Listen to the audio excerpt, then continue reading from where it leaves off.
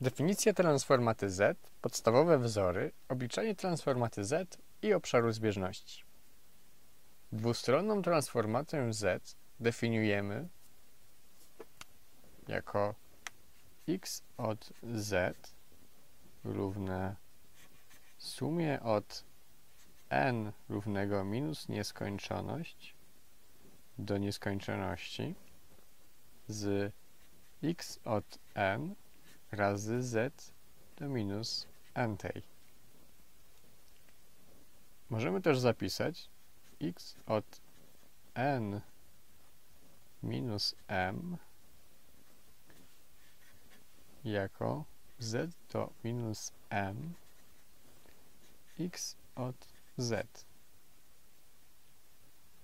Na przykład dla m równego 1 x od n minus 1 to będzie z do minus pierwszej razy x od z. Najczęściej rozważa się jednostronną transformację z, w której dolna granica jest równa 0. x od z równe sumie od n równego 0 do nieskończoności z x od n razy z do minus n tej. Jednostronna tra transformacja z wymaga uwzględnienia możliwości pojawienia się niezerowych próbek sygnału o ujemnych indeksach. Ich wpływ należy więc wyeliminować, co ilustrują poniższe zależności. x od n plus m to z do m razy x od z minus z do m razy x od 0 minus z do m minus 1 razy x od 1 minus z do m minus 2 razy x od 2 i tak do z razy x od n minus 1. Dla na przykład m równego 1 będziemy mieli x od n plus 1 to jest z razy x od z minus z razy x od 0. Obszar zbieżności transformacji z to zbiór punktów na płaszczyźnie zespolonej, dla których szereg jest zbieżny. Definiujemy to jako ROC to Z suma od n równego 0 do nieskończoności x od n razy z do minus, pierwszy, do minus n tej musi być mniejsze od nieskończoności. Elementarne sygnały dyskretne. Impuls jednostkowy.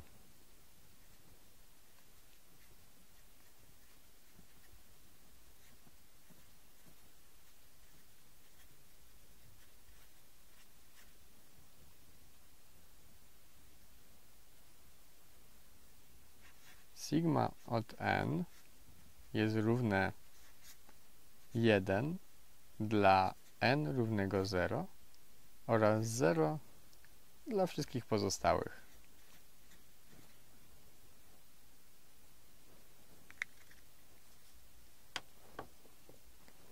Narysujmy wykres.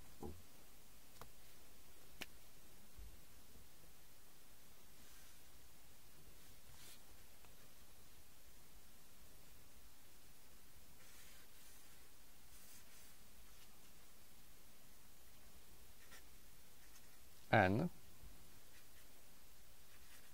sigma od n. 1 0 1 2, 3, minus 1, minus 2, minus 3.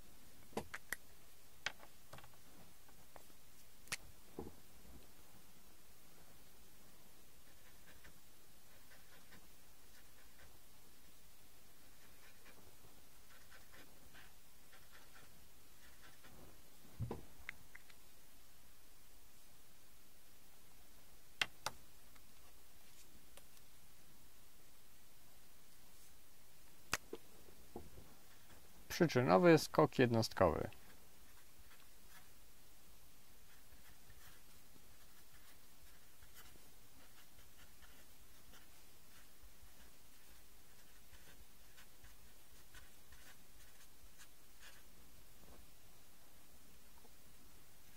U od n będzie równe 0 dla n mniejszego od 0 oraz 1 dla n większego lub równego 0.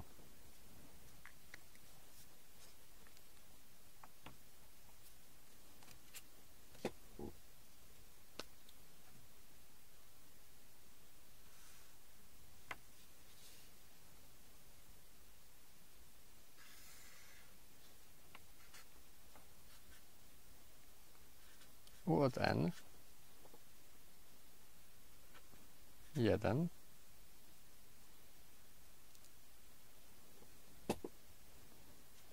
jeden, dwa, trzy, minus jeden, minus dwa, minus trzy. Oraz wykres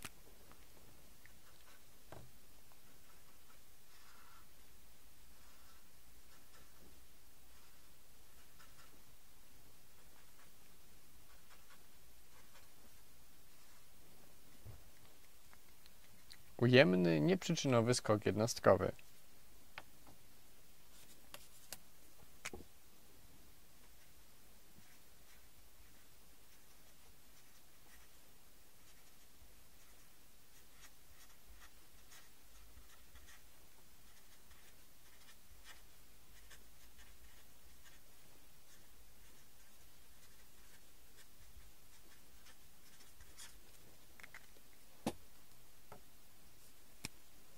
V od n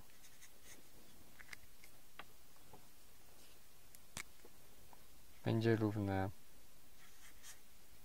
minus 1 dla n mniejszego od 0 oraz 0 dla n większego lub równego 0.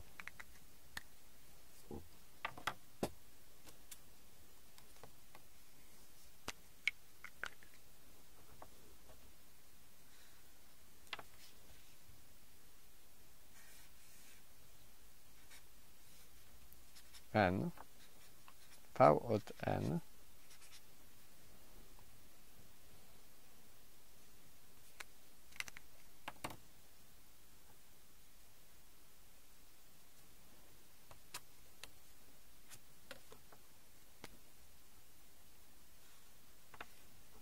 Minus 1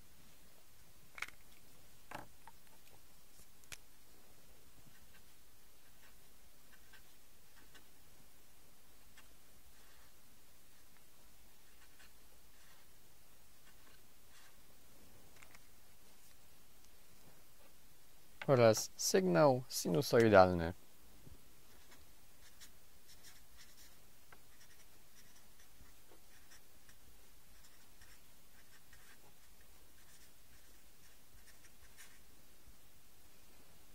x od n jest równe sinus omega n razy n plus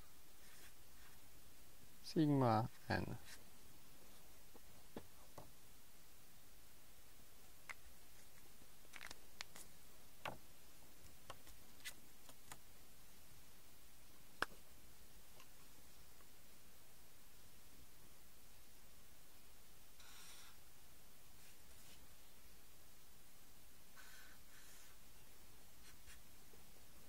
x od n n. 1 minus 1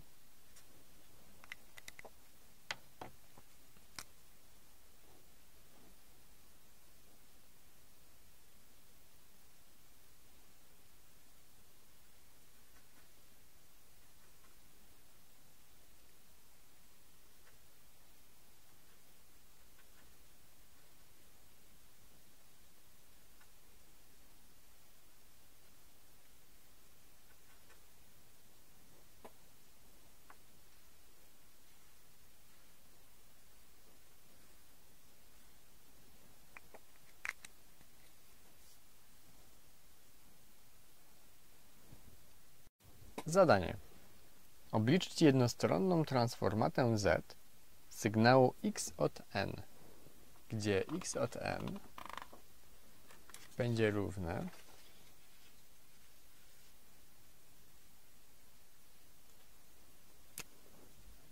x od n jest równe 2 razy sigma n plus 1 plus sigma n plus 3 sigma n minus 1 plus 2 sigma n minus 2 i plus sigma n minus 3.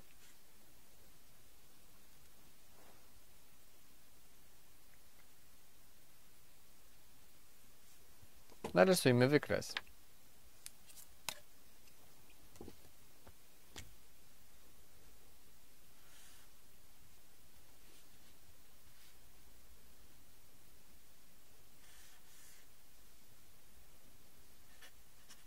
N x od n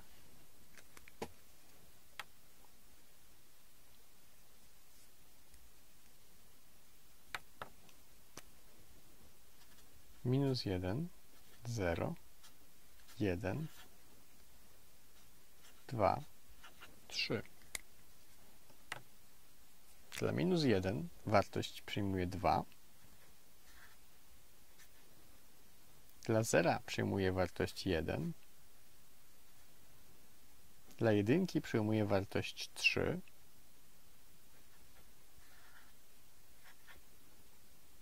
Dla dwójki przyjmuję wartość 2 i dla trójki wartość 1. Wiedząc, że transformata z impulsu jednostkowego jest równa 1,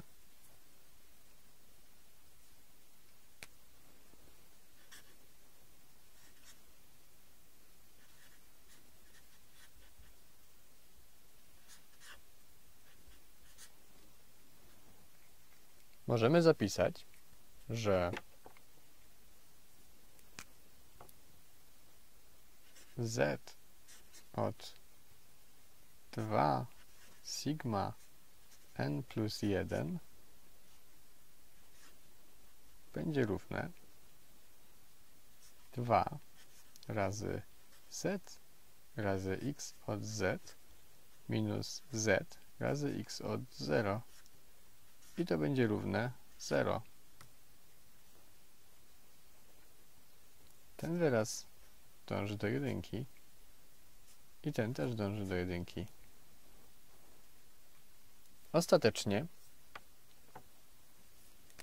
x od z będzie równe 0 plus 1 plus 3 z do minus pierwszej plus 2z do minus drugiej plus z do minus trzeciej.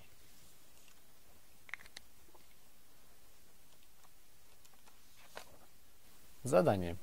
Oblicz jednostronną transformatę z przyczynowego skoku jednostkowego. Suma szeregu geometrycznego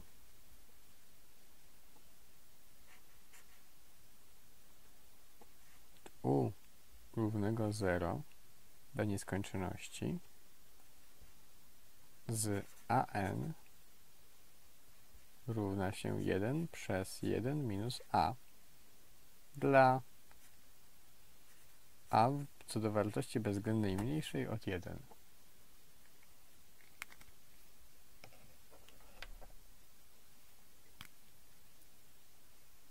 x od z jest równe sumie z n równego 0 do nieskończoności z 1 razy z do minus n tej, co będzie równe 1 plus 1 przez z plus 1 przez z kwadrat i tak aż do 1 przez z do n tej. Jest, możemy to zapisać jako sumę od n równego 0 do nieskończoności z 1 przez z do n tej.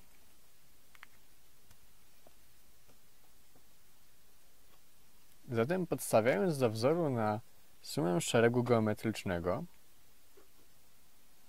x od z będzie równe 1 przez 1 minus 1 przez z. Co będzie równe z przez z minus 1. Sprawdźmy nasz warunek. Wartość bezwzględna z 1 przez z musi być mniejsza od 1. Po przemnożeniu przez wartość bezwzględną z otrzymujemy, że 1 musi być mniejsze od wartości bezwzględnej z z. Czyli z, wartość bezwzględna z z musi być większa od 1. Zadanie. Oblicz jednostronną transformatę z i wyznacz obszar zbieżności dla sygnału x od n równego 1 przez 5 do n tej razy u od n, gdzie u od n to przyczynowy skok jednostkowy. x od z będzie równe sumie od n równego 0 do nieskończoności z 1 przez 5 do n tej razy 1 i razy z do minus n tej. Co będzie równe 1 plus 1 przez 5z plus 1 przez 25z do minus drugiej i tak dalej. Co możemy zapisać jako sumę od n równego 0 do nieskończoności z 1 przez 5z do n tej.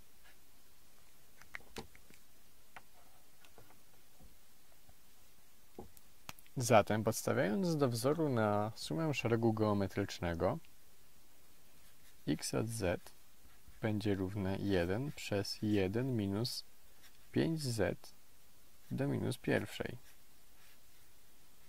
Co będzie równe 5z przez 5z minus 1, a to ostatecznie możemy zapisać jako z przez z minus 1 piąta.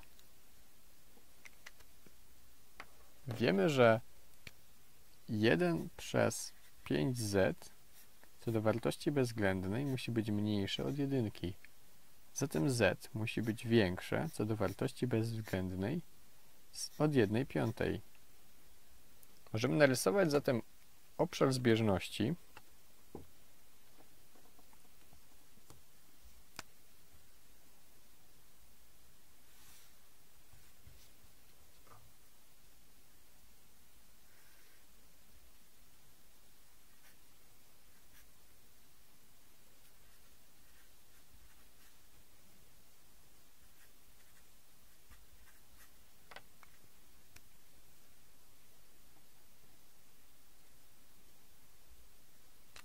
okrąg o promieniu 1 piątej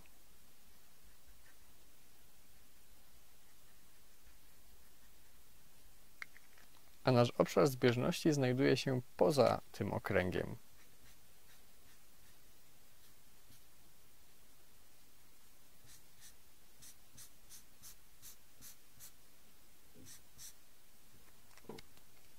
Zadanie. Oblicz dwustronną transformatę z i wyznacz obszar zbieżności dla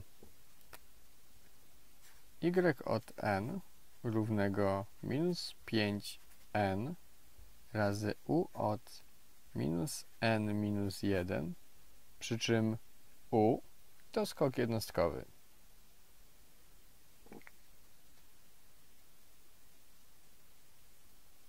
Narysujmy sobie wykres.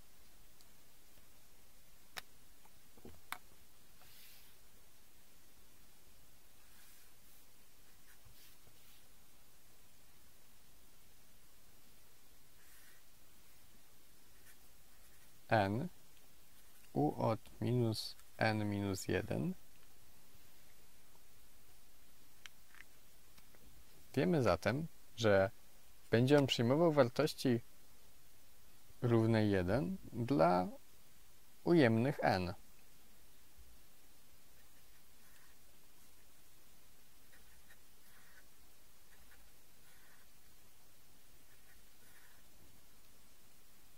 wartości 0 dla dodatnich.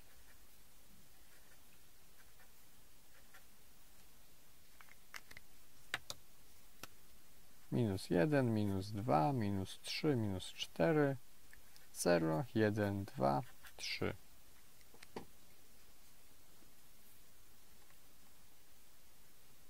z będzie równe sumie od n minus nieskończoność do nieskończoności z minus 5n razy u od minus n minus 1 razy z do minus n tej. Co będzie równe sumie od n równego minus nieskończoność do minus 1 z minus 5n razy z do minus n tej. A to będzie równe sumie od n równego 1 do nieskończoności z minus 5 do minus n tej razy z do n tej. Co będzie równe minus sumie n równego 1 do nieskończoności z z przez 5 do n tej. A to możemy zapisać jako minus z przez 5 przez 1 minus z przez 5, czyli z przez z minus 5. Obszar zbieżności to wartość bezwzględna z 5 do minus pierwszej razy z, które musi być mniejsze od 1. Zatem wartość bezwzględna z z musi być mniejsza od 5.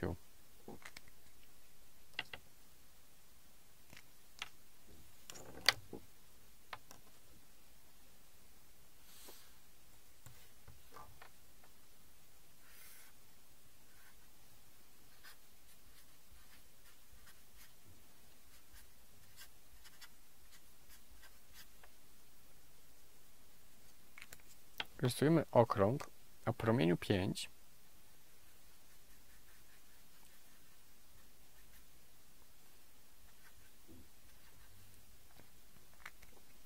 I nasz obszar zbieżności znajduje się wewnątrz tego okręgu.